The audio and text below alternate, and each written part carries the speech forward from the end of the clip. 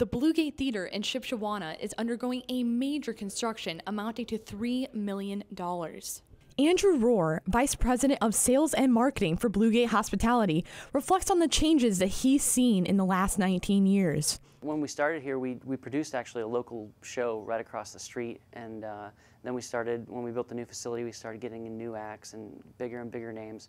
The progression has really been with us and what we've learned, uh, not only with how to get bigger artists in, but the, the the technical part of it, the sounds, the, the, the sound systems, the lights, uh, all that. Uh, the, it's a steep learning curve, and it really took us the full 19 years to get to the point we're at now. After these 19 years, the Blue Gate Theater is still focused on the same objective. Our goal is always just to try to provide the music that people are asking for, and people are always asking for the bigger and bigger names. In order to accommodate for these bigger acts, the Blue Gate Theater is about to embark on a $3 million project to remodel the venue.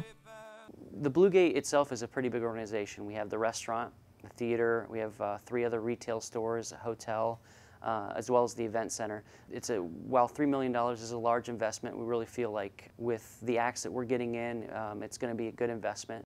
One of the biggest changes in the remodel is the capacity and seating within the auditorium. So the new theater, the whole venue will be sloping.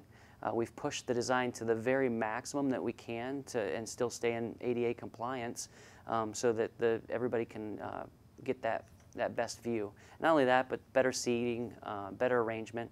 The, the, the furthest seat back is actually a third closer than the current venue. So um, it's going to feel a lot more intimate even though there's more seats there.